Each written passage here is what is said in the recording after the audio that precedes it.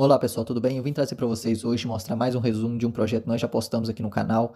Lá tem todas as informações, aqui é mais um resumo para vocês.